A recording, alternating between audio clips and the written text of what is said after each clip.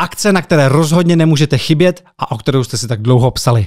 Konečně nás nemusíte výdat jenom na svých displejích, monitorech a obrazovkách, ale taky živě. A nejenom nás, ale i ty nejlepší hosty, kteří už tady seděli u kulatého stolu. 23.6. od 19.30 v kině Dlabačov totiž pořádáme první a pravděpodobně taky jediný podcast živě. Budou tam, jak jsem říkal, hosté, bude tam DJ a hlavně následná party, takže si dáme spoustu drinků a budeme tam až do rána. Vstupenky si můžete koupit přes Go Out, odkaz najdete pod tímto videem. A možná, možná přijde i kouzelník.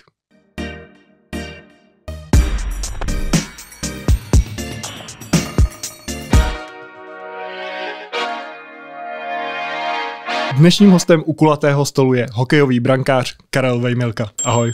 Ahoj a děkuji za pozvání. Ahoj. Musíme začít mistrovstvím světa, které nedávno skončilo. A četl jsi novinové články nebo sledoval si sociální sítě v průběhu šampionátu?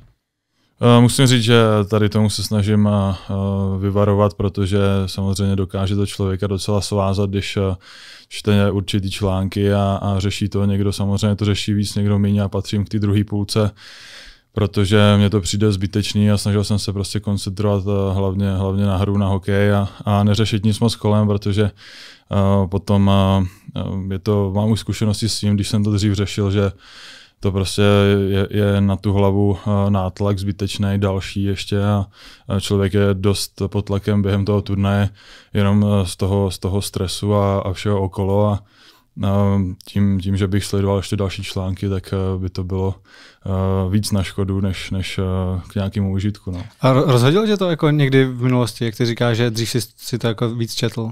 Určitě jsem dřív jako to vnímal víc, nebo hmm. snažil se třeba... Číst, Jestli to pak bylo vidět jako na tom výkonu, že jsi pak nebyl spokojený, že jsi říkal, um, ale byl jsem třeba hlavou někde jinde? Tak samozřejmě, když se nějaký zápas nepovede, tak potom člověk to řeší o to víc a, a tu hlavu to zaměstná zbytečně natolik, že pak řeší každý komentář a, a ty lidi si stejně vždycky budou uh, psát, co chtějí, takže uh, z tohohle už jsem uh, tak nějak uh, se snažil trošku uh, odprostit a, a neřešit tolik ty komentáře hmm. a, a články obecně.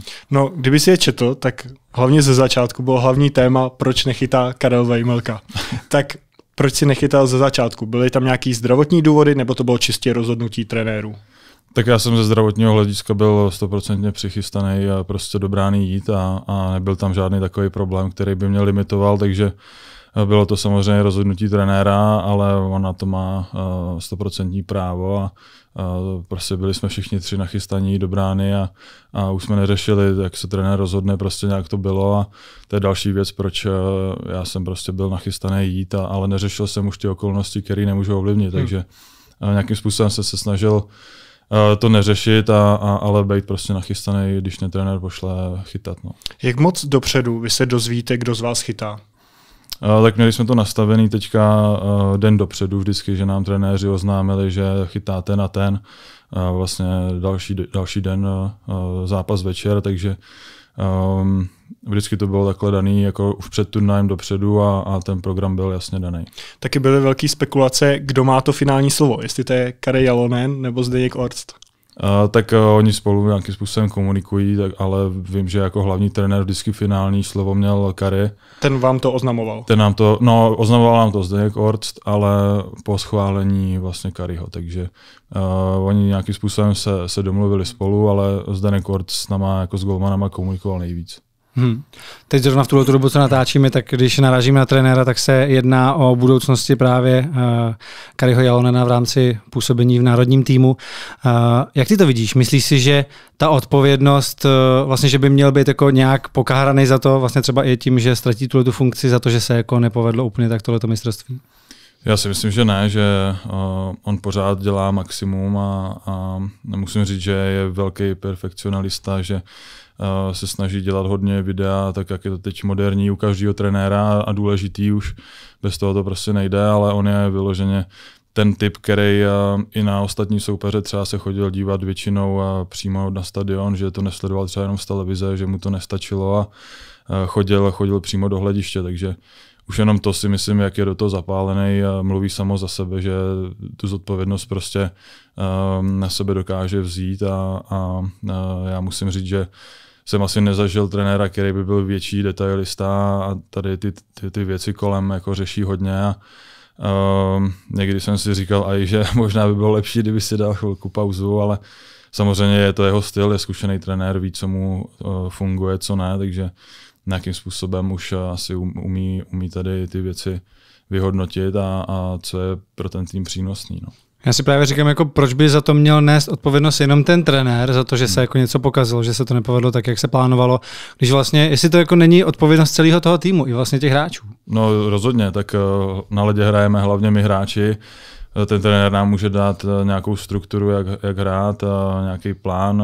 Samozřejmě na každého soupeře se připravujeme zvlášť, takže ten game plán je potom jiný na každý zápas, ale myslím si, že, vždycky jsme byli maximálně připravení a věděli jsme i ten systém toho soupeře, jak kdo bude hrát, takže v tom rozhodně problém nebyl.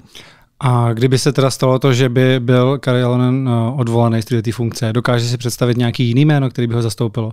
Koho by třeba ty si tam chtěl, kdyby nebyla možnost jiná? Uh, musím říct, že úplně takhle nějakého svého favorita nemám, ale ve výsledku um, teď je pořád trenér ještě Kari a, a já musím říct, že Um, tak jak na mě působí ty dva roky, co je u nároďáku, tak uh, si myslím, že budeme těžko hledat lepšího trenéra, který mm-hmm. bude nějakým způsobem přínosnější v tuhle chvíli, a, ale samozřejmě není to na mě to rozhodnutí, ale uh, jenom prostě chci, chci říct to, že si myslím, že pro to udělal maximum a, a že rozhodně jenom jeho chyba to, to určitě není. A jaký on je v kabině? My ho známe samozřejmě, když vystoupí před novináře, že je takový klidě s většinou, hmm. ale zažil si ho, že, že tam byl i nějaký výbuch emocí, ať už na tomhle šampionátu nebo na tom loňském, kdy se vlastně získal ten bronz a hmm. otáčeli se tam zápasy. Ale musím říct, že vyloženě, že by chodil po kabině, házel věcma a kopal do koše, to jsem nezažil, protože přece jenom on jako Finn má tu povahu trošku jako chladnější, ale zažil jsem ho i, i letos, i vlastně loni, vždycky jeden zápas, prostě, kdy se nám to nedařilo a, a ten výsledek nebyl optimální během první nebo druhé přestávky, tak tam musel zvýšit hlas, ale nebylo to nic, co by bylo nějakým způsobem jako extrémní. Jsi zvyklý na horší. uh, už jsem zažil horší, no, musím říct. Jaký to byly zápasy?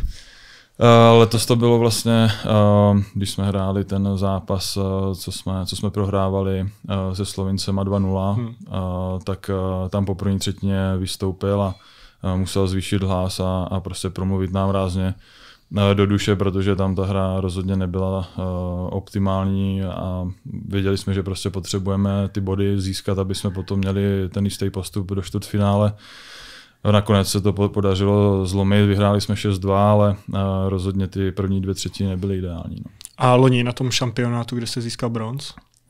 Uh, tam teda si nespomenu už konkrétní zápas, ale uh, my, myslím si, že uh, vlastně ten uh, rozhodující zápas uh, o bronz to jsem si právě říkal, jestli tam to jako proběhlo. Tak tam, tam, tam to proběhlo hmm. hlavně po té první třetině, kdy to bylo vlastně 3-0 a teklo nám jako do bod hodně, takže tam bylo potřeba něco změnit a, a tam měl proslov jako hodně, hodně rázný, hodně podobný, jak, jako, jako loni hmm. nebo letos na šampionátu, tak víc, víceméně to bylo to stejné. No. Mě vždycky zajímalo, jaké máte vztahy vy jako brankáři, když jste v jednom týmu, hmm. protože chytat může jenom jeden, sice jste spoluhráči, ale prostě o to místo nějak bojujete. Přijde mi to trošku podobný Formule 1, všichni sledujeme seriál Drive to Survive, hmm. kde jsou jezdci v jednom týmu, ale vlastně strašně spolu soupeřej. Tak měl, jaký máte vztahy v reprezentaci? Teďka třeba Šimon Hrubec, Marek Langhammer. Tak uh, oba kluky uh, jsem znal už dřív, vlastně s Márou jsme už loni na šampionátu byli, takže jsme se znali uh, hodně dobře. Šimona jsem delší dobu neviděl, ale znal jsem ho už z dřívejška, takže uh, tam vůbec problém nebyl a, a vlastně už uh, před mistrovstvím byl turnaj v Brně, kde jsme se všichni potkali, takže uh, už jsme navázali nějakou komunikaci a, a, a spolupráce probíhala úplně bez problémů. No. A třeba v Arizoně, když jsi tam přišel a vlastně dostal si se na místo jedničky a někoho jiného si vystrnádil?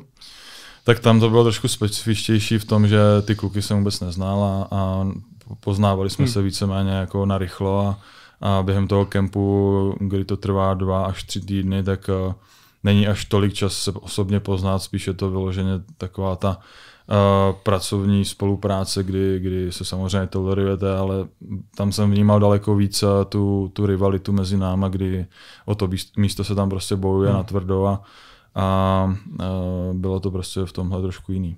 Hmm. Když je takhle konec šampionátu v rámci toho národního týmu a eh, vy třeba vypadnete, prostě nedopadne to tak, jak, eh, jak jste chtěli. Analyzujete nějak ty zápasy ještě nebo ty chyby? Nebo už je to prostě tak, že se jako řekne OK, tak jsme skončili a jdeme všichni domů? A nebo jestli se ještě rozebírá, jaký, jaký byly chyby, eh, co by se mělo do příště napravit a tak dále? Tak vždycky nějaký ten feedback je dobrý. Takže uh, když je ten zápas hodně špatný, tak kolikrát se dělá to, že se to úplně přejde, ukáží, ukáží se vyloženě ty zásadní věci, které tam prostě nesmí být v té hře, ale někdy se to přejde a, a nechá se to být, ale potom jsou zápasy, kdy uh, je to hodně vyrovnaný ta hra a, a rozhodují tam detaily a právě na ty se potom zaměřujeme i v tom, uh, na těch meetingsích a, a na videích, takže toho času jako u, u uh, plátna nebo u videa se tráví hodně a Eh, vždycky se to analyzuje většinou den po tom zápase, protože přece jenom tam taky není až tolik času na to, to, to nějakým způsobem rozebírat, takže eh, většinou druhý den je třeba trénink nebo jenom ten meeting, aby jsme si řekli k tomu zápasu, co byl, něco a zároveň se poučili z těch chyb a připravili se už na dalšího soupeře. Mm-hmm. Jak je to s uvolněním z NHL do toho národního týmu? Kdo, kdo koho žádá a vlastně musíš ty žádat o schválení, jestli ti to schválí, aby si mohl odjet podpořit národní tým? Tak tam se vždycky spojí manažer vlastně národního týmu se mnou jako s hráčem. Nejdřív Přímo s tebou nebo s tvým manažerem? nej, nejdřív se mnou. Mm-hmm. A, Což byl nebo, Martin Havlát? Jo, jo. A, a nebo je to přes agenta řešený, ale mm. Vždycky chce většinou ten manažer prostě mluvit přímo s hráčem, jestli má zájem, jestli je zdravotně v pořádku, jestli je stoprocentně připravený prostě reprezentovat. A až na to konto, tak eh, se baví eh, oba ti manažeři, jak klubu, tak reprezentace mezi sebou, eh, jestli s tím teda souhlasí klub a, a potom ještě musím absolvovat vlastně výstupní zdravotní prohlídku, kde uh, klubový Vystupí lékař... teda v NHL. Jo, jo, v NHL. Hmm. Uh, tam mě musí ten um, klubový doktor prostě schválit to, že můžu odjet na, na národák a to je vlastně ta poslední překážka pro to, abych, abych mohl jet. No. Takže kdyby si měl nějaký jako vážný zdravotní problém, tak on tě třeba nemusí nechat odjet, aby si to tam jako ještě nezhoršil. Přesně a... tak. No. A třeba když končí někomu smlouva, tak eh, ani z toho důvodu kolikrát nechtějí na, to, na ten národák odjet, protože když se tam někdo zraní, tak potom vlastně během toho léta už nemá možnost uh, podepsat tak dobrou hmm. smlouvu nebo kontrakt. Je to o dost komplikovanější potom, takže uh, je vždycky dobrý, když ten hráč má smlouvu na další rok, projde tou zdravotní prohlídkou, i když třeba měl během sezóny nějaký, nějaký zdravotní problém, ale e, ta prohlídka je právě od toho, aby na ten národák odjel 100% a v nejlepším případě se tam samozřejmě nezranil, což letos zrovna teda na ty zranění jsme měli smůlu, hmm. ale um, probíhá to tak, že, že prostě nejdřív musí dostat propustku od klubu a, a od klubového lékaře. No. Jasně. No a jak to máš se smlouvou v NHL ty?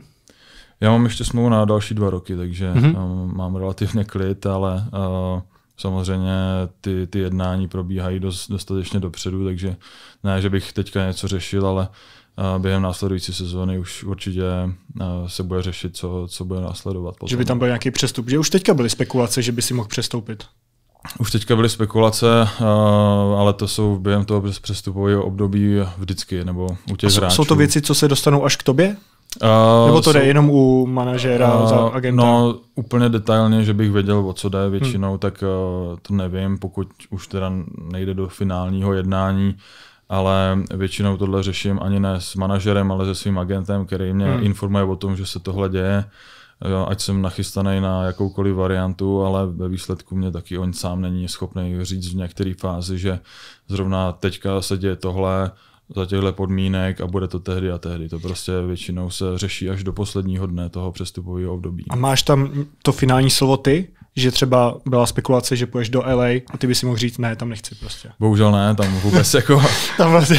tam, tam, já, že bych si diktal podmínky, to jako neexistuje. Tam eh, vyloženě záleží na těch klubech, jak se mezi sebou domluví a mě to pak jenom oznámí jako hotovou věc. A víceméně, já kdybych s tím jako nesouhlasil, tak hmm. víceméně oni samozřejmě už mají na mě různé páky přes smlouvu a já víceméně jsem pro ně uh, jako, jako zboží, jo, takže je Ty to si prostě vyjednáváš tu smlouvu, pak ten plat, jo. To. Takže my jsme jako uh, velký obchod pro ně a, a oni si nás přehazují jenom jako horký brambor, když tak řeknu. No. Když jsi říkal, že máš smlouvu ještě na dva roky, příští rok je mistrovství světa v Praze. Kdybyš si byl zdravý a dostal si nominaci, tak bys jel? No rozhodně, tak hmm. je to něco, co se nemusí vůbec opakovat potom už v kariéře a neváhal bych, když, když zdraví dovolí a, a bude zájem, tak hmm. rozhodně bych chtěl. Jak ty to máš vůbec nastavený? Je pro tebe víc třeba vyhrát Stanley Cup než olympiádu nebo mistrovství světa? Um, já beru ten úspěch uh, jako týmový, prostě všechno, nebo ne na stejné úrovni, ale vždycky ten pocit z toho vítězství mně přijde, že je jakoby stejný. Jo. Ať je to, nemůžu to soudit, jo, ale, ale uh, vyhrát Stanley Cup, uh, vyhrát olympiádu, samozřejmě mistrovství světa je braný obecně jako uh, trošku jako nižší úroveň, ale pořád ten pocit vítězství je vždycky stejný a člověk neřeší, jestli vyhrál to nebo to. Ale samozřejmě vyhrát Stanley Cup nebo olympiádu je prostě to nejvíc, co se dá. Ta olympiáda je pro mě možná ještě víc tím, že je to jakoby na mezinárodní úrovni a měly by tam být vždycky ty největší nebo nejlepší z nejlepších, takže um, zatím ani tuhle možnost jsem neměl z toho vyzkoušet, ale věřím, že, že jednoho dne třeba ta možnost bude. No. Mm-hmm.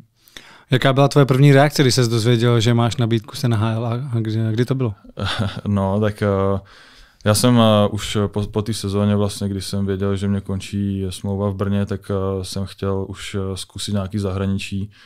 A věděl jsem, že tehdy z té pozice si nebudu moct vybírat nějaký extra angažmá v Americe a spíš jsem počítal s tím, že budu někde tady po Evropě, Švédsko, Finsko, a tak to byl takový můj první krok, první myšlenka, ale vždycky jsem do Ameriky si to chtěl zkusit a, a, a tak jsem s agentem to dlouho probíral a jasně jsem mu řekl, pokud aspoň bude nějaká malá šance jít do Ameriky, tak že, by, že bych to rád šel zkusit.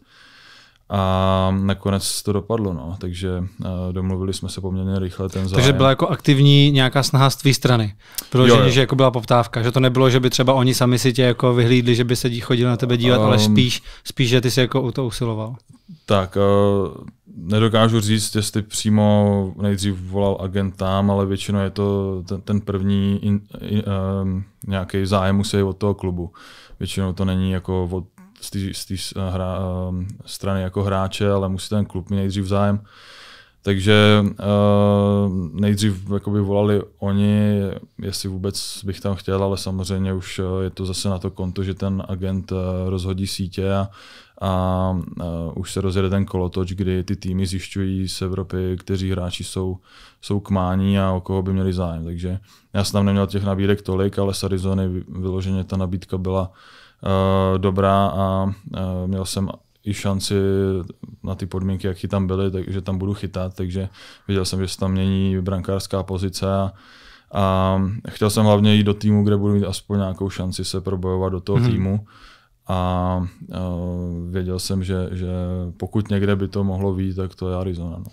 No a ty už si teda, že on tě draftoval Nashville hmm. Predators a ty už si věděl teda, že už to bylo nějak předomluvený, že půjdeš do té Arizony, že tě pak nějak vyměnějí, nebo jak, protože ono to trvalo docela dlouho, že? Ty no, jsi byl no. draftovaný v roce 2015 a vlastně poprvé jsi pak zahrál v roce 2021. Jo, tak uh, tam po tom draftu vlastně ten klub uh, tak má na mě tři roky práva a po té době, co uplyne, tak se ze mě stane jakoby volný hráč a může mě podepsat kdokoliv. Ale během té smlouvy, kdyby mě ten tým nechtěl, který mě draftoval, tak se nemusí eh, domluvit mezi sebou nějak.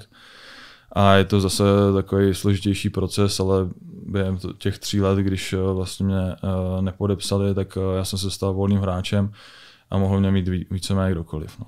A, je ta... no, a ještě v tom meziobdobí tedy těch vlastně šest let pro tebe, hmm. tak to si vlastně tam jako dělal co? No, byl jsem, byl jsem v Brně, uh, tam jsem uh, víceméně měl jakoby střídavě pozici jedničky, pozici dvojky, takže jsem těch zápasů vždycky odchytal relativně dost, ale nestačilo to na to, aby prostě jsem podepsal ten NHL klub dřív. A teď, když se na to zpětně dívám, tak to možná dopadlo nejlíp, jak mohlo, no. protože třeba kdybych podepsal tu smlouvu o něco dřív, už třeba s Nashvillem, tak možná, možná se do NHL ani nepodívám, ale to už uh, jsou zase jenom spekulace. No. Hmm. Když podepíšeš tu první nováčkovskou smlouvu, hmm. jsou tam přesně daný peníze, jaký dostaneš?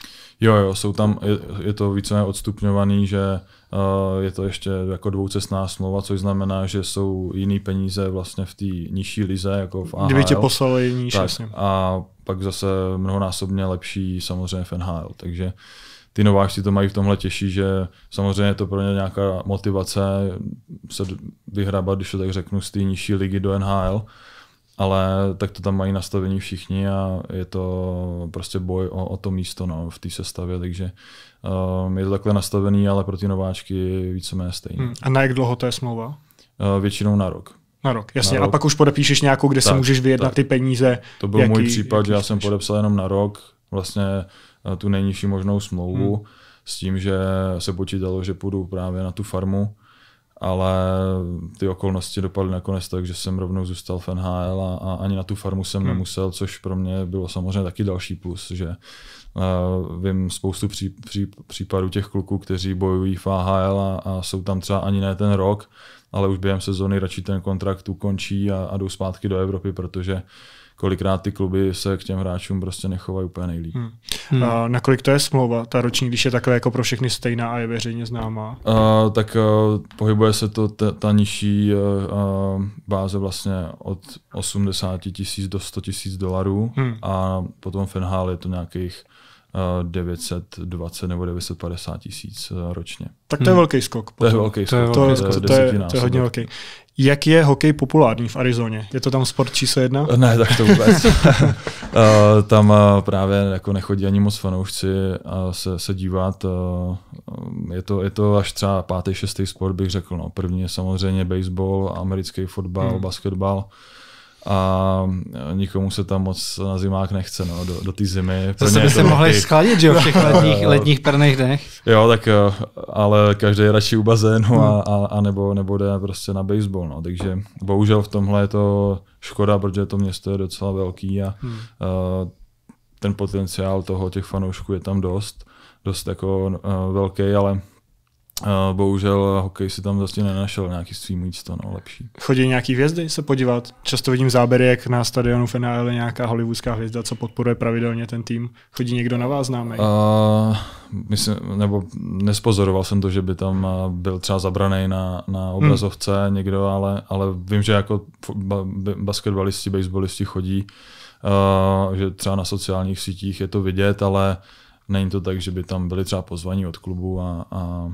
a bylo to předem domluvený, spíš je to je prostě jenom z jejich iniciativy hmm. a, a to, že se prostě jdou bavit. No. A co třeba klasický fotbal, jak je tam populární? Teďka aktuální zpráva, Lionel Messi přestupuje hmm. do Ameriky. A, taky to není nic, nic moc hmm. extra slavného. No. Je to asi na úrovni, bych řekl, možná ještě horší než ten hokej, že přece jenom prostě ten, oni tomu říkají soccer, tak to pro ně není až tak jako hmm. záživný a Uh, já jsem tam byl na jednom zápase a jako taky mě to moc nebavilo, takže uh, musím říct, že prostě ty lidi tam mají trošku jinou mentalitu a, a prostě ty sporty mají trošku posunutý jako v té popularitě jinde. No. Zase je pravda, že my, když jsme byli ve státech se podívat v San Francisku, tak jsme se byli podívat na baseball a to nás extrémně nebavilo. Ačkoliv jako hrát baseball nebo softball, co jsem hrál mm. jako ve škole, tak mě bavilo, mm. ale dívat se na to byla strašná nuda. Vlastně jako tam no. se strašně dlouho nic neděje a je to jenom o tom žrání těch párků.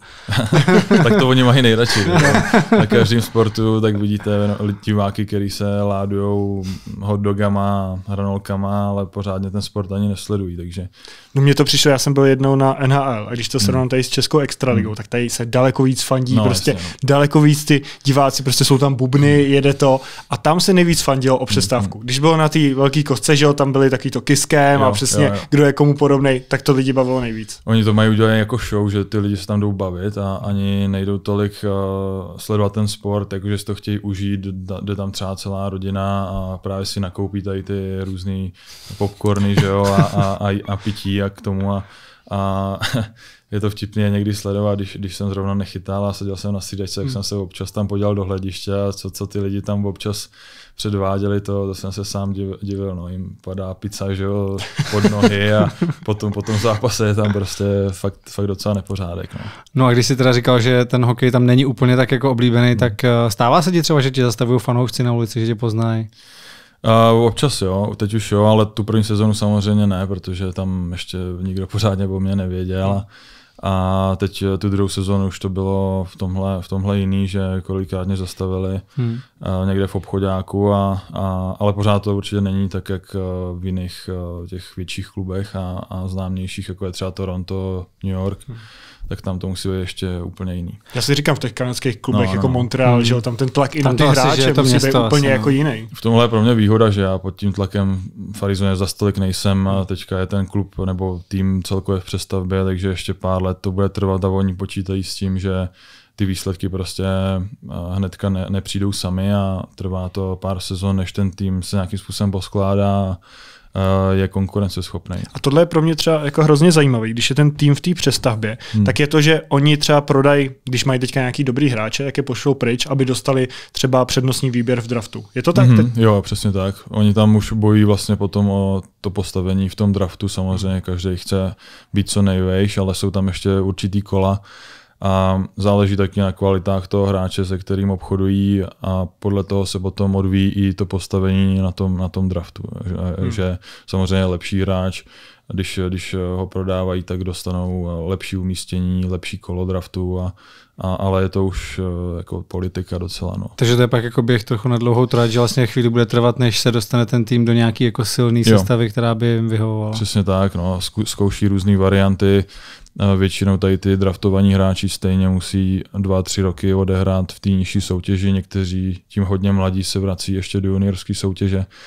Takže tady ty extra talenty tak eh, si vychovávají poměrně dlouho a dostanou šanci třeba po dvou, po třech letech. Samozřejmě, když je někdo superstar už um, jako, jako v juniorském věku, jako je teďka Conor Bedard, hmm. tak uh, o tom se mluví, že vlastně na draftu bude jednička dlouhodobě a myslím si, že ten je schopný jako tu NHL hrát hned. No. Hmm. Kdyby si mohl vybrat jeden tým z NHL, eh, který by to byl, za který by si chtěl hrát? Kdo třeba byl tvůj oblíbený, když jsi byl dítě? Uh, tak eh, já jsem to sledoval podle brankařů, takže uh, nejdřív to byl Pittsburgh, pak to byl New York, takže jeden tady z těch dvou by, by nebyl špatný a byl by to takový můj klukovský sen si tam jednou zahrát. Hmm. Tak to je i celkem blízko u sebe. Jo, hmm. jo. A, tak Madison jo, Square Garden. Madison Square, to je uh, typická taková ikona New Yorku hmm. a, a Rangers, takže uh, tam, když jsem poprvé chytal, tak jsem z toho měl husí kůži a nevěřil jsem vlastním očím vůbec. No. A, a vaše domácí arena, ta je ve Phoenixu? Je ve Phoenixu a, a my jsme teda teďka odehráli sezonu vlastně na univerzitě nebo univerzitní hale, která má kapacitu 5000 lidí, protože eh, tu předchozí sezónu se ne, nepohodli vlastně majitelé na nějakých dalších podmínkách eh, v té původní hale a ta byla normálně pro 20 tisíc, ale bohužel tam eh, byl problém s nájmem a nastavili tam nesmyslnou cenu, takže se rozhodli teď, že klub bude chtít postavit úplně svoji novou halu, hmm. ale hmm. během těch tři, čtyř let, než k tomu dojde, tak chtějí prostě strávit tady, tady v tom zařízení, jakoby v té aréně pro univerzitu nějakou dobu a Není to ideální samozřejmě, nejsou to podmínky prostě NHL, ale uh, bohužel to tak je. No. A kolik chodí lidí? No, ne, nebylo vyprodáno snad ani jednou, takže hmm. bohužel ani těch pět tisíc tam nepřijde. Oni teda udělali uh, blbost, že nastavili ty ceny jako vstupenek strašně vysoko a, hmm. a nejlevnější lístek je tam asi 160 dolarů, takže uh, na to, že je to v univerzitní hale a, a ještě my jsme ty výsledky taky neměli, Jasně. Bůh ví jaký, takže ty lidi tam i z toho důvodu moc nechodí. No. Chodí jenom ty pořádní fanoušci. Jo, jo, tak samozřejmě mají tam některé permanentky, ty hmm. celoroční, tak potom už uh, tam, tam chodí asi častěji, ale ty uh, vstupenky na jednotlivý zápasy nešly moc na, na odbyt. No. Jak vidíš teďka finále Stanley Cupu? No, uh, je to teda Sleduješ divočina. To, docela, uh, sleduju vždycky jenom ty highlighty a, a nedívám se na celý zápasy. Hokej mám dost, takže rád si, rád si odpočnu od toho ale vždycky se podívám na výsledek a, a na nějaký záběry, takže uh, je se rozhodně na co dívat a A, ale nemám teda favorita, je to tak vyrovnaný, že si myslím, že to může vyhrát. Ne, nemáš ani nikoho, komu fandíš? Vyloženě ne, tak uh, samozřejmě Radko Gudas je na Floridě, hmm. takže uh, z toho důvodu bych možná to přál jemu a, a myslím si, že ten bys to zasloužil. Máte čas třeba takhle pokecat, když ty si někde na výjezdě nebo někdo přijde k vám? Jasně, při zápase asi se pozdravíte, ale třeba před, před zápasem nebo po zápase? Jdete někdy na večeři, když tam je někdo díl? Uh, když jsme takhle na, na tripu vlastně pár dní a, a je tam třeba den volna potom, tak uh, jdeme na večeři a domluvíme se vždycky dopředu, ještě třeba před tím zápasem, že, že po zápase někam zajdeme, ale většinou je to tak, že uh, zbalíme věci a musíme hnedka přelítat uh, do jiné destinace, takže uh, prohodíme třeba pár slov takhle na chodbě, ale není bohužel na nic, na nic víc moc čas. No. Přímo v Arizoně máš tam nějaký další Čechy? Já vím, že v týmu vlastně nikoho hmm. nemáš, ale třeba nevím, z jiných sportů jsou tam nějaký Češi nebo někdo, kdo tam žije, ani vlastně sportu se nevěnuje, s kým jsi v kontaktu? Uh, tak uh, Vyloženě jsme tam asi jako nepotkali, ale vím, eh, právě fotbal tam hraje jeden eh, Čech mladý a tak o to, jako psali jsme si, ale pořádně jako osobně jsme se hmm. neviděli. Ale třeba k tomu ještě dojde a jinak eh, vlastně Čech je tam se mnou Jan Jení, který ale hraje AHL nebo hmm. většinu sezóny hrál, letos teda byl zraněný docela dlouho, takže s tím jsem byl v kontaktu docela dost, když, když na pár zápasů naskočil u nás a pak tam byl Miloš Kelemen, vlastně Slovák, takže měli jsme tam takovou tu československou stopu, aspoň trošku, ale většinu sezóny jsem tam trávil eh, jenom jakoby Čech sám, takže hmm. Eh, na jednu stranu je to pro mě lepší, že se dokážu do toho týmu trošku víc eh, dostat a poznat ty kluky zase ostatní, že jo, kteří by možná jinak se mnou tolik nekomunikovali, ale když ví, že vlastně tam nemám nikoho k sobě, tak je super, když, když se s nima můžu pobavit a hmm. máme skvělou partu, takže to funguje v pohodě a, a ten první rok samozřejmě byl těžší, ale teď už po těch dvou letech je to Uh, super, že, že všechny znám a uh, kdo přijde nový, tak uh, už jsem tam zamazák. Takže je, je to takový, že když takhle oni jako vidí, že jsi tam sám, že se k tobě třeba chovají jako líp, nebo, nebo když tam nastupuješ jako nováček, tak jako na tebe koukají skrz prsty, že jsi zelenáč. A... Jo, tak samozřejmě to trvá pár dní, než si na sebe zvyknete, že jo, a, a než, se, než se jednotlivě poznáte, ale um, potom, když oni vidí tu snahu, že jsem se nějakým způsobem chtěl zapojovat do těch, do těch konverzací a, a že prostě s nimi chci trávit i ten volný čas, tak zase se na to dívají trošku jinak, protože sami mě říkali, že většinou Evropani třeba ani nechtějí se s nimi bavit, nebo nechtějí chodit třeba na ty večeře společně, nebo tak, takže Samozřejmě záleží na každém, ale, ale já se snažím jakoby s těma klukama prostě poznat i mimo hokej a trošku poznat část rodiny třeba a, a zase se bavit i třeba o něčem jiným. No. Hmm. A jak tam takhle, jako, protože ty máš týmu většinou Kanaděny a Američany, že jo? Hmm. tak jak tam takhle pohlíží vlastně na český hokej? Je to jako jenom naše představa, že vlastně jako český hokej pořád jako silná, dobrá úroveň a že máme jako spoustu legend, mají o tom i oni takový povědomí, anebo naopak je to právě tak, že si to jenom myslíme my?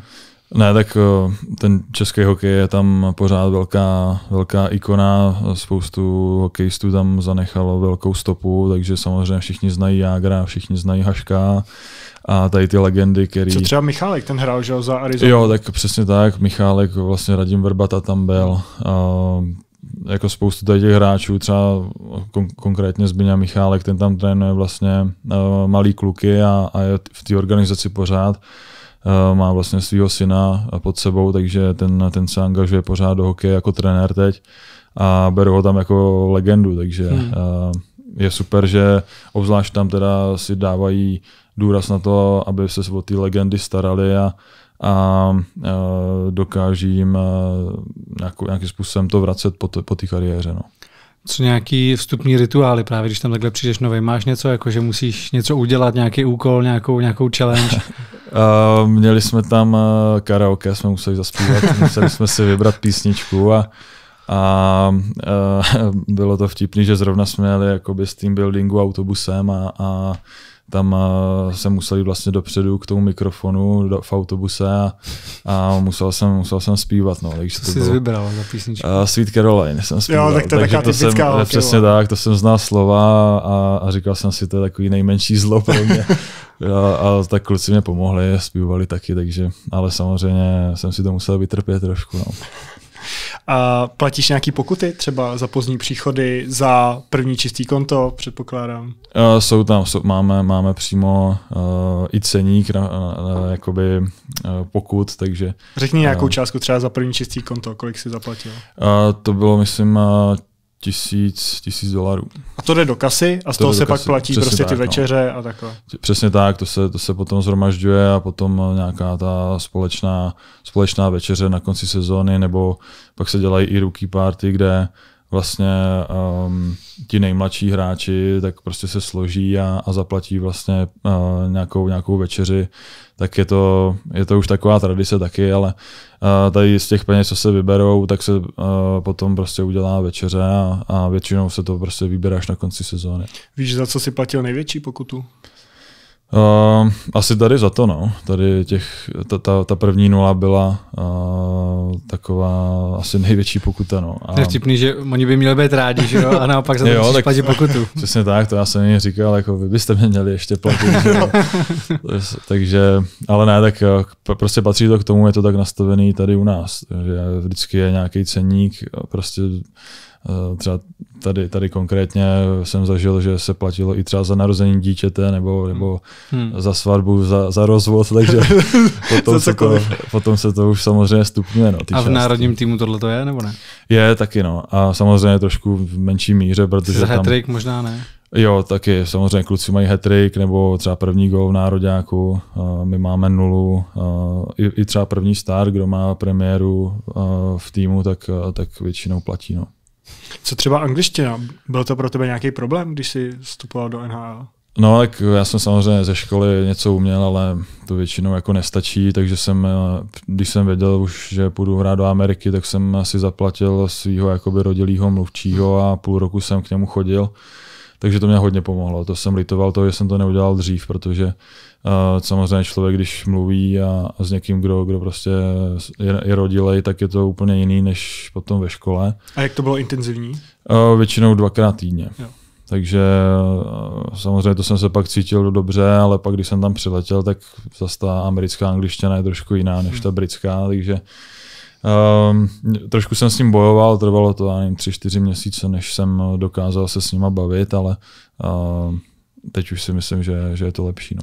Jak se tam řeší oblečení v kabině? Já vždycky vidím ty fotky, jak se nastupuje, že v tom tunelu. Musíte nosit obleky, když jdete na Musíme, zápas? no. Máme, máme daný, že uh, vždycky před zápasem musíme prostě všichni být uh, jakoby s kravatou, normálně oblek. Ale nemáte mít... týmový ty obleky, je to ne, na vás. Ne, je to, je to Ta, na takže nás. třeba když David Pastrňák nosí taky ty tak. extravagantní, tak ty si můžeš vzít Přesně taky. tak, jakýkoliv oblek, ale musí to být oblek s kravatou a hmm. společenský boty nebo polobotky a, a nesmíme mít roztrhaný džíny, Uh, musí to být vyloženě prostě oblek, a, a, aby to ladilo, ale už se neřeší jako design. No. A máte tam někoho, kde je takhle extravagantní?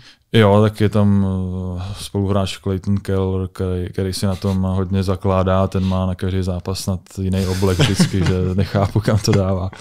Takže uh, já těch obleků mám dohromady asi 6 nebo 7 a, a mm, teď, teď mě to stačí. No. Hmm. Ty jsi nastoupil několikrát i proti Conoru McDavidovi. Je pro tebe jako brankáře ten hráč nějak jako specifický? Že se na něj jinak připravuješ, poznáš, když už na tebe jede? Hmm. Tak eh, on je specifický v tom, že se nedá jakoby odhadnout, co udělá. Jo? Že u některých hráčů tak eh, v určitý situaci tak nějak tuším, kam pojede, jestli změní směr doprava, doleva, nebo udělá tohle, ale uh, u něj prostě se to nedá ani, ani odhadnout, protože je tak rychlej a, a ty ruce má tak šikovný, že, že prostě v každé ty situaci si dokáže poradit jinak než, než předtím a v tomhle je prostě nejlepší na světě. No. A je, je opravdu jako odskočený od těch ostatních hráčů. Já když sleduju nějaký ty sestry, jak mi fakt přijde, jako že přesně v tou, rych, mm, tou rychlostí těma rukama tak je někde jinde. Je, je to jako ještě jiný level než všichni ostatní. Nedá se přirovnat k nikomu, kdo by tam mu sahal aspoň pokotníky. Prostě je to jako výjimečný hráč, který si myslím, že zase tady nějakou dobu nemusí být. No. Hmm. Ty jsi říkal, že teda dokážeš v té rychlosti, když na tebe někdo jede, poznat, co to je za hráče. Máš už teda naučený, přesně jak ty říkáš, že nějaký hráč dokážeš odhadnout, že udělá tohle, takže už vidíš, jede na mě tohleto číslo, takže předpokládám, hmm. že půjde doleva. Tak uh, my vždycky třeba teď na mistrovství jsme měli i 5-6 hráčů z každého toho, toho týmu a věděli jsme, co třeba dělají na nájezdy, hmm. že mají nějakou svoji klíčku oblíbenou, takže jsme se na to přímo na videu dívali, měli jsme svůj uh, samostatný meeting jenom pro brankáře a tady tohle jsme tam rozebírali, takže do toho máme ty videa všechny ještě uh, vlastně ve složce na, na mailu, takže kdykoliv chceme, tak se na to můžeme sami podívat i bez trenéra, aby jsme věděli a byli připraveni, co konkrétně ti hráči dělají. Ale to jsou, ty nájezdy jsou zase trošku něco jiného, než potom klasická hra a ti hráči se na ty úrovni už umí přizpůsobit a, a nedá se úplně na to spolíhat, že udělá zrovna to, co dělá většinou. Ne? To jsem si přesně říkal, jak probíhají ty tréninky v reprezentaci, hmm. že si tam 14 dní, 3 týdny hmm. maximálně, tak co se tam trénuje u těch brankářů, že tam není žádná taktika, že jo, tam vlastně no. Ty, ty prostě chytáš, jak nejlíp umíš, takže je to takhle třeba ta příprava na ty jednotlivý hráče? Přesně tak, no, tak tam nemá cenu se snažit nějak uh, trénovat bruslení no, nebo něco takového, na to prostě není čas a uh, soustředíme se tady na ty věci už uh, konkrétně na ty uh, soupeře, potom jednotlivý hráče a uh, nemůžeme prostě zase se upínat na jednu věc, to, to nejde, takže snažíme se vždycky vybrat uh, ty nejčastější nebo nejšikovnější hráče z toho týmu a samozřejmě na ně se zaměřit i třeba při přesilovkách. Každý ten tým má rozestavěný, rozestavěný ten vzorec na přesilovce, který hraje většinou, takže na to se chystáme už potom speciálně na meetingu a, a rozebíráme takovýhle detaily, který potom rozhodují. No. Hmm. Když už jsme u toho tréninku, tak možná hloupý dotaz, ale přijde mě to zajímavý. Uh, jestli jako vůbec trénuješ jako brankář střelbu, jestli prostě jako si někdy jako máš trénink vyložený, že jako pálíš na bránu. Uh, tak, že bychom to měli daný od trenéra, že musíme střílet, tak to ne, ale uh, tak každý brankář vždycky si, si i rád veme hokejku a jenom si zastřílí. Hmm.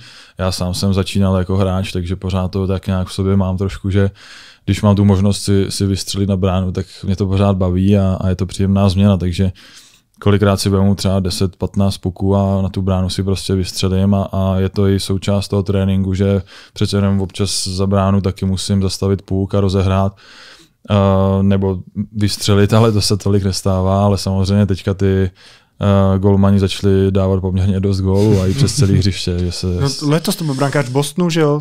Přesně tak, no, takže každou sezónu uh, aspoň jeden golman ten gól dá. Takže to máš v hlavě, že třeba kdyby byla ta příležitost, vedli byste no, dvě branky, oni hra, hráli... Musím bez... na to potrénovat trošku ještě, abych to přestřelil vůbec z toho hřiště a, a pak možná to zkusím. No. A nemrzí tě to tak trochu vlastně jako, že nedáváš ty góly v rámci té soutěže? A tak občas si říkám, že bych radši je dával, než dostával, že jo? ale uh, potom si říkám, že asi bych nebyl tam, kde jsem a, a prostě ty věci se, se běhly tak, jak, jak měly a Uh, můj táta sám hrával dřív, takže on chtěl, abych byl v útoku, ale já jsem si to vyloženě vybrečel, že chci jít do brány, protože jako malýmu se mě líbily masky a, a že betony, takže to si myslím, že každý dítě radši se dívá na ty brankáře, jsou zajímavější než, než ostatní hráči, takže uh, z tohohle pohledu jsem uh, si to vydupal a, a teď samozřejmě se na to dívám, že to byla asi správná volba. No. Takže to byla tvoje volba, že budeš brankář. Není to tak, že prostě trenér v nějaký té přípravce prostě řekne, hmm. hele, ty neumíš střídat, to jde bránění, půjdeš do brány. No, tak většinou tak je, ale u mě to bylo tak, že já jsem uměl i vystřelit docela, měl jsem docela jako velkou postavu už od mala, takže eh, mě spali nejdřív do útoku, pak do obrany, ale pořád jsem, pořád jsem rád hrál, ale pak se někdy kolem 7. 8. roku to zlomilo a chtěl jsem si zkusit aspoň jít do brány, ale už jsem tam zůstal. No. No, tak byla to dobrá volba, jak asi, říkáš asi sám. No. no. Jak zvládáš během eh, sezóny v NHL ty přelety? Měl jsi někdy jako problém jako s časovým pásmem, s tím posunem a takhle? A, tak uh, on je to o zvyku trošku. No. To tělo si na to potřebuje zvyknout, takže první třeba měsíc a v té sezóně je to, je to nezvyk a je to náročný pro to tělo. Musí člověk hodně spát, bát na tu regeneraci a, a pořádně, pořádně se na to připravit, na tu sezónu, protože je dlouhá ale eh, během pár týdnů tak, eh, tak si na to člověk navykne a tam jsou nejhorší ty dlouhé přelety, kde je posun třeba tři hodiny a to už je pak znát. No. Ty, ty Vy máte hodiny. klubový letadlo.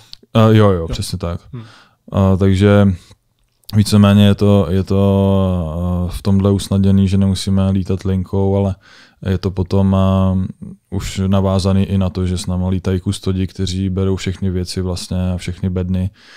Takže uh, máme svoje letadlo, ale, ale i třeba novináři s námi lítají, takže neletíme tam vyloženě jenom sami jako tým. Ale takže dělají s tebou ještě rozhovory po To naštěstí ne, ale uh, vždycky, vždycky je to tak, že lítají lítá třeba 100 lidí v tom letadle. No. Hmm.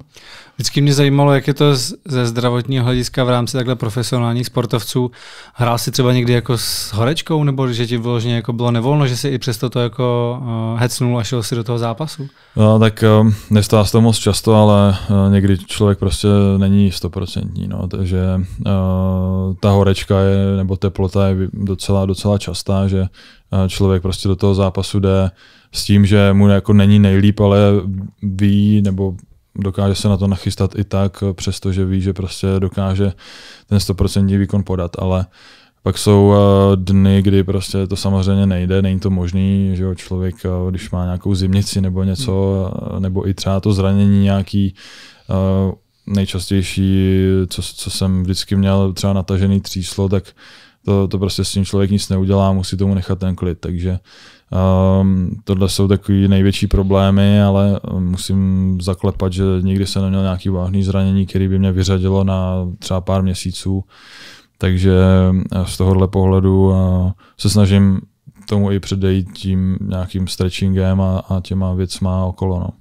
Jak ty to máš s rozhovorama? Jsou období, kdy jako odmítáš do novin dávat nějaké rozhovory? Třeba teďka na mistrovství mi přišlo, že si moc jako nedával rozhovory. Hmm. No ale tak nebylo to tak, že bych odmítal, ale, ale vyloženě to zase nevyhledávám. Prostě hmm. když se mnou někdo chce udělat rozhovor, tak s tím nemám problém, ale zase se do toho nehrnu a není to něco, co bych, co bych vyloženě vyhledával. No.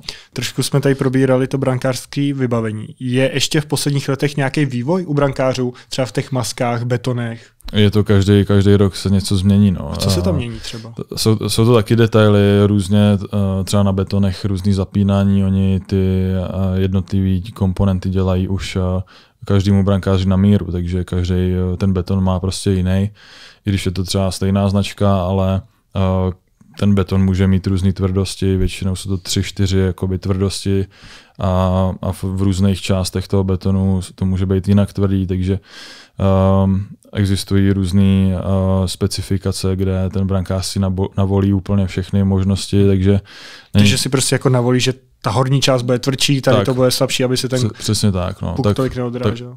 Tak, jak když si uh, navrhuješ nebo objednáváš auto, když tam máš že jo, spoustu barev, eh, různé konfigurace, tak tohle je dost podobný systém. No. A to pak musí být ale jako nějaký konfigurace, které jsou ekologicky asi lepší než ty druhý, ne? Nejenom jako co ti vyhovuje, ale kdyby se třeba vědělo, že prostě když budeš mít měkčí betony, tak se s tím prostě líp hmm. chytá, že by si to dával každý. Uh, jo, ale tak každému vyhovuje něco jiného. Někdo má radši ten beton měkčí, někdo tvrdší, už jsou zase samozřejmě léta zkušeností a ti brankáři vědějí, co, hmm. co, co jim vyhovuje, už si vyzkoušeli těch betonů několik takže postupně samozřejmě každý dospěje pak do té fáze, kde už jsem třeba i já, že ten beton mám každou sezónu stejný, i tu tvrdost a, a nechám z toho objednávat vždycky ze stejnou specifikací. Hmm. No. Co ostatní části, helma třeba?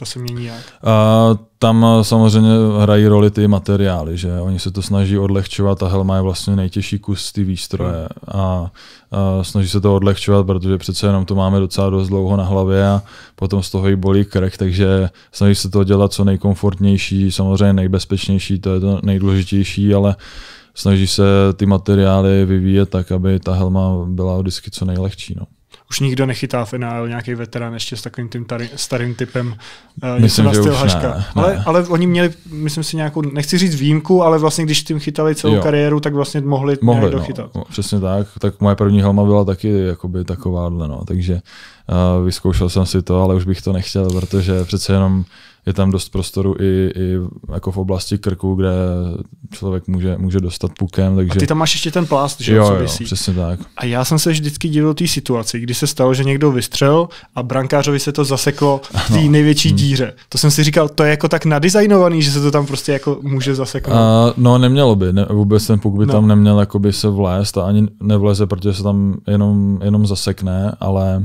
Uh, ale už to, to zaseknutí je jako hrozně nepříjemný, no. když ti ten puk vlastně se zastavit. Mně se to teda nikdy nestalo, ale viděl před jsem uh, záběry, jak, jak uh, některým klukům se to stalo a, a potom ten puk ani ne, než, nemohli vytáhnout. že to musí už fakt rána, aby tam vůbec se No dostal. No. Víš ty třeba, jaká nejrychlejší rána na tebe letěla? Protože u těch střelců se to často měří, Hmm. porovnává se to.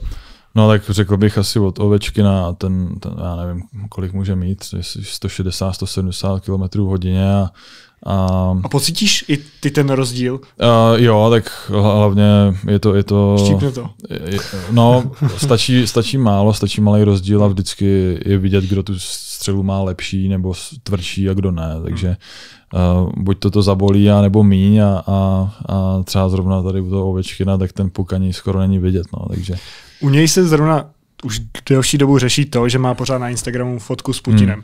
Je to téma, uh, jestli by měli být ruští a běloruští Hmm. sportovci na olympiádě. Co ty si o tom myslíš? No já s tím souhlasím, tak je to samozřejmě kontroverzní neměli téma, být. Že by neměli Hmm. být, no, protože um, přece jenom děje se to, co by že jo, nechtěl nikdo z nás a ovlivňuje to každýho z nás denodenně, bohužel, a, a vlastně trpí tím nevinní lidi, no, což je na tom to nejhorší, takže si myslím, že on samozřejmě se k tomu osobně nechce vyjadřovat, což chápu, ale um, tu fotku by tam asi nemusel mít. No, A bylo to nějaký téma? Řešili jste to třeba? Protože to, tady se to docela řešilo Hmm. pořád, že, že furt má tu fotku nějak se k tomu Bavili jsme se o tom, ale prostě nějak víc jsme to neřešili, protože je to jeho věc, je to osobní, evidentně má s ním dobrý vztahy, ale uh, já osobně jako v takové situaci bych, bych uh, asi neváhal a, a od- odstranil si tu, tu fotku, Hmm. protože je to zbytečně jako přilejování eh, do ohně a Je pravda, že on je vlastně no. v takové jako situaci, že i kdyby jako chtěl si dát Hmm. tu fotku pryč, tak vlastně si jako rozhodí vztahy s ním, že, pravda, že no. vlastně jako dá najevo, že Hmm. OK, asi tam ta fotka by neměla být, takže teď on je podle mě v té, že jako jestli si jako rozhodit jeho, nebo jestli jako zbytek světa, no. No, jako evidentně budou mít spolu dobrý vztah, že jo, i proto tu fotku asi tam má a dal si ji tam konec konců ještě předtím, než něco Mhm. mm-hmm. začalo, takže uh, asi to není jednoduché rozhodnutí, ale uh, um, je, to, je to na něm, no. No, další téma je čeští hokejisté, kteří jdou hrát do KHL. Co na tohle říkáš?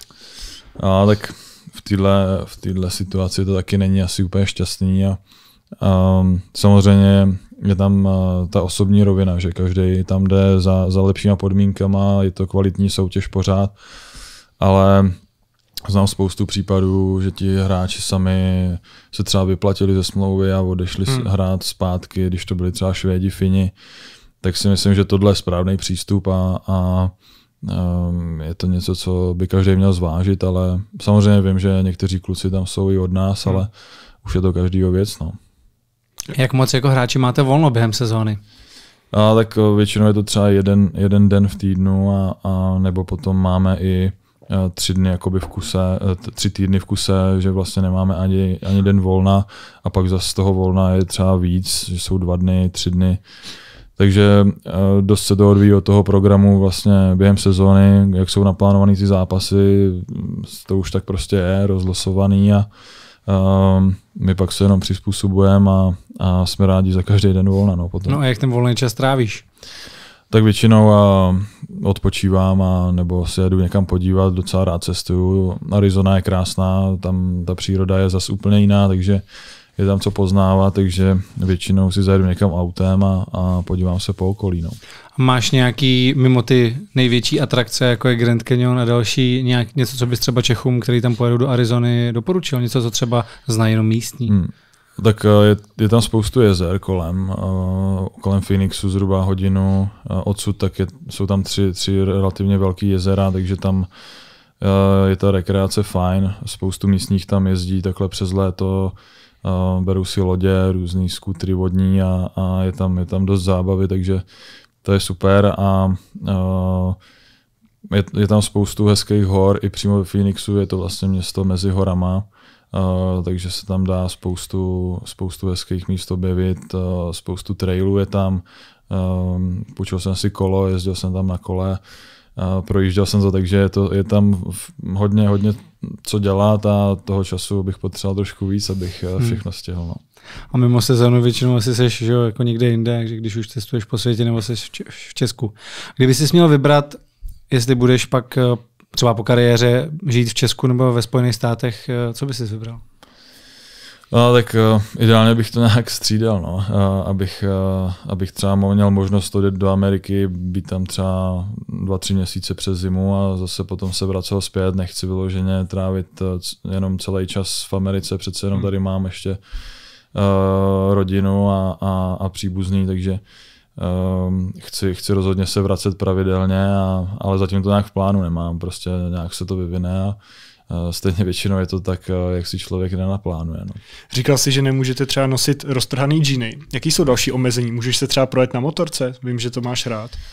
Uh, tak během sezóny nejezdím vůbec. Uh, motorku mám vlastně jenom tady v Čechách. A je to, a... že to máš zakázaný, nebo spíš ty víš, jako, že to je riziko, uh, že by si neměl? Tak je, ta, je tam riziko a neměl bych jako správně dělat nic uh, rizikového, co by máš mohlo jako ohrozit. ve smlouvě, že je nesmíš to, třeba adrenalinový sporty? Jo, je to přímo ve smlouvě.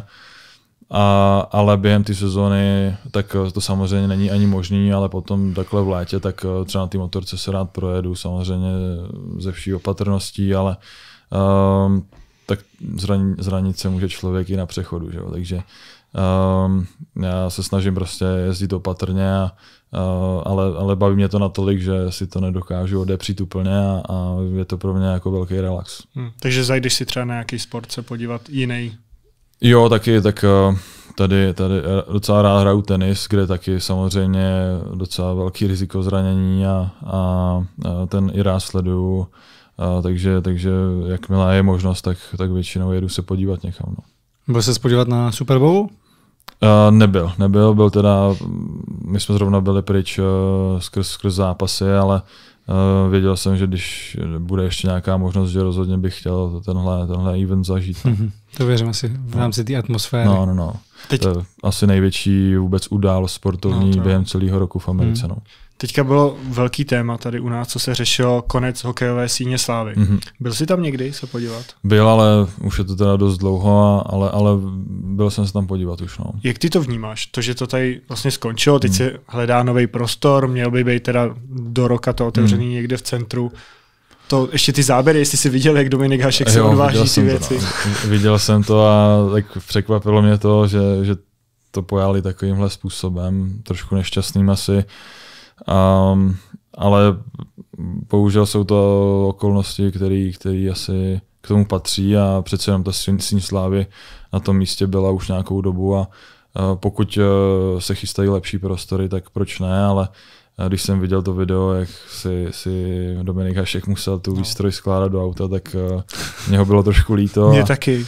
A obzvlášť těch věcí, že jsou artefakty, které se jen tak, jen tak nevidí a uh, bylo takový nešťastný trošku. Pak, no. pak si to řešil v Americe, že tam hmm. na to koukali no, no, úplně no. jako nevěřícně, že tady nejlepší hmm. brankář si skládá svoje věci no. do, do košíku. Na ještě, ještě sám jako vlastně. No, no. jasně no. A vím... Hned mu psali, že z Toronto, že, že by měli zájem o ty jo, věci. Tam jo, přesně tak. No. NHL sama projevila zájem, že by ty věci nějaký odkoupili. Hmm ale já doufám, že ne, že to tady zůstane a budeme moci se na to chodit dívat dál, sice někde jinde, ale třeba v lepších prostorech. Hmm. Když vezmeme obecně ten stav český hokej, to je téma, co se tady řeší hmm. už strašně dlouho, od mládeže po dospělou reprezentaci. Hmm. Jak ty to vidíš za poslední roky? Kam to směřuje? Směřuje to k něčemu lepšímu a můžeš to rozdělit mládež, extraliga hmm. ve srovnání s jinýma soutěžema a ta dospělá repre? Tak když tomu od té extraligy, tak si myslím, že ta za poslední roky hodně vyrostla jako kvalitativně, že obzvlášť i tím, že je teď válka, spoustu hráčů se vrací a i těch zahraničích sem, sem, sem cestují zpět, tak jsou tady hodně zajímavý jména v té soutěži a, a samozřejmě to zkvalitňují celkově, takže to je velký plus. Samozřejmě další otázka je, je ta mládež, kde pořád někdo spekuluje, že něco děláme špatně a jinak než ostatní. Uh, myslím si, že máme hodně kvalitních trenérů a, a uh, snažíme se ty trendy držet i s ostatníma uh, zeměma. Samozřejmě jedna velká otázka jsou finance, což je to zásadní a od toho se to potom všechno odráží. No. Takže hmm. myslím si, že děláme jako hodně pro to, aby se to zlepšovalo, ale jestli se to zlepší tím správným směrem, to pak se samozřejmě uvidí až časem a, hmm a ta mládež prostě bohužel i teď celkově se to podle mě ubírá jako špatným směrem uh, skrz sociální sítě a všechny tady ty věci, že to ty, ty mladý prostě ovlivňuje natolik, že potom se to samozřejmě projevuje i v tom sportu. Jak je hokej finančně nákladný sport pro ty začínající, pro ty děti a pro ty jejich rodiče? A tak uh, samozřejmě hodně. Je to jeden z nejdražších sportů vůbec pro ten začátek, pro, pro rodiče samotný a, a ta finanční stránka oproti fotbalu třeba nebo tenisu je prostě úplně někde jinde. Um, obzvlášť třeba u brankářů je to úplně specifická věc, kdy ta výstroj prostě přesahuje většinou jako vždycky 100 tisíc. A... a to si musíš koupit sám? Já myslel, že třeba když přijdou nějaký ty děti na ty první tréninky, že to mají napůjčovaný. Některý týmy to tak mají, nebo teď už asi většina, ale vím, že za mě ještě to bylo tak, že kolikrát si ty rodiče museli tu výstroj koupit a, a nebylo to vůbec jednoduchý, takže um, samozřejmě teď i akademie uh, hokeje a, a, a tady ty uh, různí sponzoři se snaží tu výstroj dodávat těm nejmladším, ale samozřejmě všechny kluby to taky nedokážou zprostředkovat, takže není to nic jednoduchého, ale uh, myslím si, že je to zase už i tohle o něco, o něco lepší, než to bylo a, a že je to teďka nastavený správným směrem a je to o něco jednodušší, než to rozhodně bylo dřív. No. Hmm. A já jsem zaslechl takový zvěsti, jako přesně jedna paní povídala, eh, že když jsi jako takhle mladěch eh, průměrný hráč, takže se dost kouká na to, aby si to tvoje dítě zahrál, nebo aby si se zahrál vlastně, hmm. jako kolik ty rodiče platí. Zažil jsi to někdy, jako, um, že prostě tam byli hráči, kteří prostě jejich rodiče nepřidávali moc peněz klubu a tím pádem nehráli? Uh, zažil jsem uh, spíš opačnou situaci, že uh, třeba hrál kluk, který na to neměl, ale hmm. jenom protože tatínek prostě na to jo. měl, tak mu to zaplatil víceméně. Hmm. Samozřejmě pak ten kluk už víceméně nechtěl hrát sám, protože byl do toho tlačený, ale ty, ty, ty situace jsou různé, ale vždycky je to otázka prostě peněz a nebo nějakých kontaktů osobních, že jo, s trenérem. Hmm. Ale to je tak, jak asi v každém eh, sportu a, a odvětví tady toho ražení, že uh, prostě bohužel tak funguje. No. Jo, takže když, když vyčníváš, tak je to hmm. asi jasný, tam, tam není o čem, ale pak ty průměrný hráči, tak je tak to těch průměrných je vždycky nejvíc. Jo? Hmm. A mhm. pak se rozhoduje to, jestli tam někdo teda něco přihodí, anebo se nějak domluví.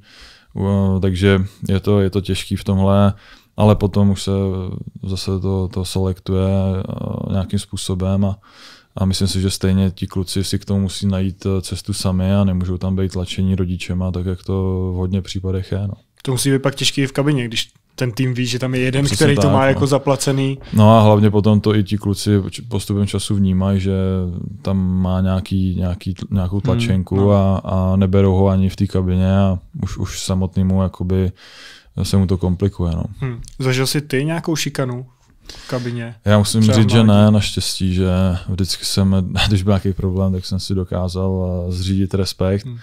Uh, ale tak v tom kolektivním sportu se to tak uh, stává, že prostě ne s každým si sednete a musíte potom uh, prostě nějakým způsobem spolupracovat, ale uh, sám osobně jako se šikanou jsem se naštěstí nesetkal. No. Divili se třeba někdy spoluhráči, že vlastně studuješ, že máš vystudovanou školu, že třeba si věřící, taky to mohl být jako důvod pro někoho se, se tomu divit. V jo, tak, tak uh, občas se divili, no. Když jsem studoval ještě, tak uh, kolikrát při cestě zpátky po zápase autobusem jsem se prostě učil a ostatní si uh, hráli hry na mobilech nebo hráli karty bavili se, že jo, takže uh, pro mě to bohužel byla jediná cesta, jak jsem mohl dostudovat a musel jsem prostě nějaký čas tomu obětovat. No. Hmm.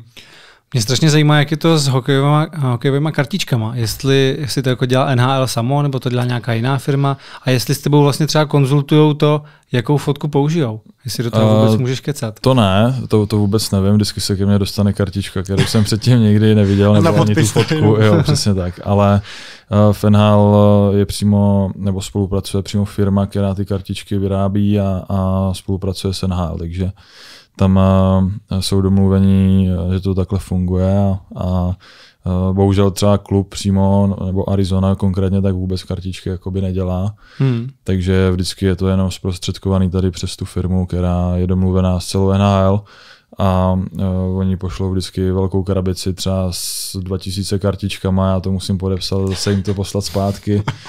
takže je to docela na dlouho to, to, to podepisování, ale uh, vždycky si pak samozřejmě nějakou kartičku neschovám, protože jich za stolik nedostaneme a uh, jsou to takový příjemný potom vzpomínky, no, když po, po pár letech si na to člověk hmm. podívá, tak uh, je na co pak vzpomínat. No. A neměl jsi někdy jako takovou v ruce, že by si řekl, že to je hrozná, to jsem že, by se mi, že si ti ta fotka nelíbí. Jo, měl, měl ale eh, tak třeba mám, mám kartičku vlastně z toho roku, kdy jsem byl draftovaný a tam je vyfocený úplně někdo jiný.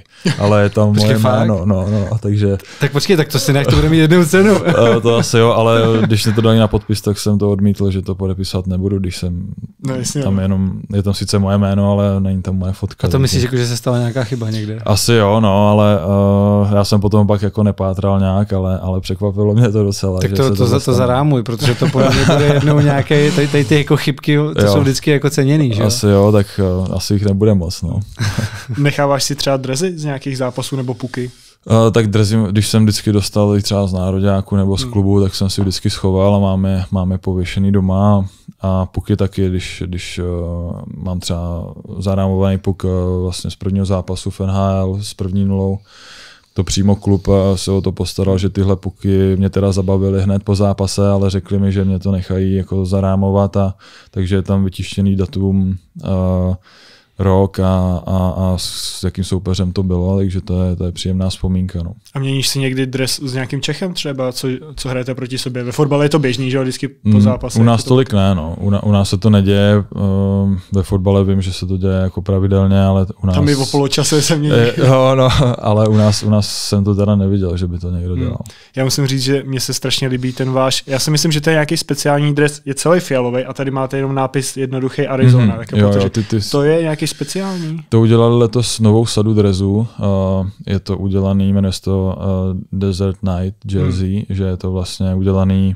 vyloženě návrhářem, který spolupracuje jako se světovými značkama. Udělal to jako svůj návrh svoji kolekci víceméně, takže... Uh, Ten byl super. Ještě je, když jsem viděl ty betony, jak jsi s tím měl mm-hmm. sladěný. Jo, tak uh, dneska je super, že, že na ty betony dokážou natisknout taky úplně cokoliv, hmm. takže já jsem měl požadavek jenom, aby to ladilo s tím drezem, mělo to stejné barvy, bylo to jednoduchý, a takže jsme tam zakomponovali ten kaktus, který je prostě typický pro Arizonu a, a nakonec se z toho udělal docela dobrý set. No. Hmm. Co můžete vůbec jako hráči kouřit třeba? Ne, ne, ne. To, Ni, to, to, nikdo nekouří. Ne, nikdo. Žvíkací tabák to hodně jede mezi no, tabák, tabák, tabák je taková náhražka, prostě ty cigarety, když to tak řeknu. A, a já teda osobně nežvejkám, ale většina, většina kluků, jo. No. Hmm, a něco jiného? Kratom je teďka hodně populární. No, tak to, to vůbec se ke mně nedostalo ještě ne. naštěstí. Takže já vím, že tady mám, je to, teď se hmm, řeší, hmm. že teď je to jako legální, furt se řeší, jestli to udělají nelegálně. Slyšel takový... jsem o tom, ale neměl jsem ani hmm. možnost to, to vyzkoušet. No. Jestli vůbec v Americe to je legální. Právě, tam to asi hmm. jako nebude, no. ale žvíkací tabák, jak říkáš, je náhražka. že to, tam... no. to je jako jedna z mála věcí, protože i máme dost často dopingové kontroly a prostě myslím si, že tady ten kraton by ani neprošel, takže hmm. nevím teda, jaký je tam složení, ale ty, ty kontroly jsou dost přísné, takže uh, tam by asi byl potom problém. No. Hmm. To samé by bylo asi u čehokoliv, jako marihuana, Přesně i když je v nějakých státech vlastně legální hmm. a myslím si, že třeba UFC už to nebere hmm. jako hmm. zakázanou látku, tak. tak hokej by to samozřejmě No rozhodně, tak stopka. my tam máme ty dopingovky, které prostě tohle mají podchycený a, a mám, no, třeba letos jsme měli na začátku sezóny hnedka, ještě než začala sezóna, a potom... A to jdete jako celý tým najednou? Na začátku jdeme všichni a během sezóny tak eh, si můžou vytáhnout jako na mátkově třeba 10 lidí z týmu, ne všechny. A vytáhli si tě už Ale takhle? jo, jo, už jsem byl, takže Uh, dokonce víckrát, že se to může dít jako během sezóny, že jeden člověk jde hmm. prostě třeba třikrát a, a někdo vůbec, takže. A to je zajímavé, ale jestli vlastně kdyby si hrál prostě třeba za LA Kings, jo, v Kalifornii je ta tráva hmm, legální. Hmm. Jestli by to jako bylo braný vlastně v rámci toho sportu taky jako legální, nebo ne? Ne, já myslím, že protože NHL má zase svoje nějaký pravidla a, a potom tady ty dopingovky jsou vedený jakoby od svazu nebo od, od vedení soutěže, tak prostě jsou, nevztahují se na to stejný pravidla jako pro normální občany. Hmm. Prostě, no. Když si tě také vyberou, předpokládám, že ty to nemáš třeba jako jiný sportovci, co musí pořád nahlašovat, kde jsou. Ty si prostě hmm. s týmem, takže oni najednou přijdou do toho týmu a řeknou teď kontrola ty, hmm. hned, hned tě chceme zkontrolovat. Přesně tak. No úplně hned to není, je to třeba tak, že přijdeme, přijdeme uh, po zápase, tak uh, máme třeba nevím, půl hodiny na to uh, se nějak osprchovat hmm. aspoň a ale třeba na mistrovství je to zase ještě přísnější, že tam se kolikrát chodí. Já jsem teda nebyl na ty kontrole, ale vím, že kluci museli jít hned z ledu vlastně na tu kontrolu dopingovou, že ani no. nemají čas se vlastně převléct a, a jdou rovnou. No. Já to znám třeba z atletických závodů, přesně uh, ten člověk doběh, hmm. hned si ho chytil ten jako no. komisář a celou dobu s ním byl hmm. a dokavať prostě nešel na záchod, tam hmm. čekal, že jo, až se, až se vymočí no, do té no, no, a pořád s ním musel být, aby tam neproběhlo hmm. přesně nějaký... Hmm. No jako je, je to docela přísný, ale, ale uh, Fenhal tak je to trošku jiný, nebo co jsem zažil já, že uh, ty kontroly vlastně probíhají třeba před tréninkem, uh, dopoledne, že to není vlastně po zápase hned, hmm. ale tím, že si vyberou víc lidí, tak je přímo seznám, uh, i kdy kdo jde, je tam, jsou tam napsané časy, takže je to víc jako relativně v klidu a, a je to vlastně v den, kdy není zápas, ale, ale třeba jenom trénink. No. Hmm. Nevím, jestli si to zaznamenal, myslím si, teď je to pár měsíců zpátky, tak se tady hodně řešilo, že Jakub Jankto, český hmm. fotbalový reprezentant, měl coming out, což hmm. byla velká věc, žádný jako fotbalový reprezentant vlastně nikdy nic takového neoznámil. V hokeji jsem nikdy nezaznamenal nic takového ještě. Je to, že to je pořád jakoby tabu? Tam oznámit, že je někdo jako homosexuál tím, jak je to takový hmm. chlapský sport a prostě se to tam jako... Asi, asi myslím si, že jo, že uh, málo kdo to dokáže si přiznat vůbec sám sobě, hmm. na to, že to potom takhle veřejně oznámit, což jako uznávám, hmm. je to je to frajer, že, to, že do toho šel takhle. Na druhou stranu si myslím, že to jemu samotnému musí hodně pomoct, že hmm. je to něco, s čím musí sám bojovat, že jo, a, a může mu to naopak jenom pomoct a, a dostat to ze sebe, takže um, já osobně na to mám prostě pozitivní názor z tohohle hmm. pohledu, že proč, proč s tím prostě nejít ven a, a neříct to na rovinu, protože Uh, proč, se, proč se za něco schovávat, no, když hmm. stejně dřív nebo později se to dostane ven. Hmm. A je to jako podle tebe pořád jako tabu v tom hokeji? Jakože nevím, jsi měl nějakého spoluhráče, o kterým to nevím, kabina věděla, ale vlastně on to nikdy nechtěl říct veřejně, protože nikdy... by třeba protihráči mohli hmm. mu něco říkat, nebo nevím. Jako nikdy jsem se nesetkal s tím, eh, že by vyloženě se k tomu nechtěl někdo postavit hmm. a věděli bychom to o něm, spíš tam jsou vždycky takové narážky na někoho, když třeba někdo si holí nohy nebo tak, tak mu to dáme, dáme sežrát, tak hmm to potom už jsou spíš z toho srandičky, ale hmm. nikdy jsem se s tím jakoby nesetkal osobně. No. Hmm. Kdo byl nebo ještě stále je tvým brankářským vzorem? A, tak byl to Henry Conquist, který právě chytal za Rangers, takže to byl, to byl jeden, jeden z mých idolů. Samozřejmě úplně jako malý jsem měl Dominika Haška, Tomáše Vokouna, ty český kluky, který, který byli uh, slavní v NHL a momentálně teďka nikoho nemám, ale spíš jako malý jsem to víc prožíval z tohohle pohledu. No. O kolik let jste se minuli s Lundqvistem? Že on chytal dlouho, že jo? No, uh, on skončil vlastně v sezonu předtím, než já jsem tam nas- naskočil, takže to byla smůla docela hmm. pro mě, že jsem uh, už ho nepotchal. No. Tak, takhle potkat se s ikonou. Jo, tak to nevím, nevím, co bych dělal, no. ale uh, tak byl by to velký zážitek. Podepsat, no. podepsat kartičku, jo? Asi, asi jo, no. A šel by si někdy do bitky? Protože jsou určitý typy brankářů, který nejenom, že by jako do ní šli, ale klidně si pro ní přijedou.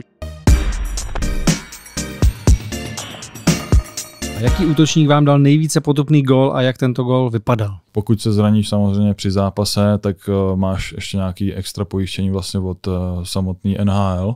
Jak sleduje klub tvoje mediální výstupy? Třeba když dáváš nějaký rozhovory tady v Česku, sledují to? Nechávají si to přeložit? Jak dlouho ta výstroj vydrží?